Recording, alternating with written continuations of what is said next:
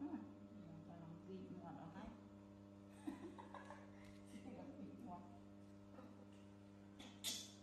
cười cùng cười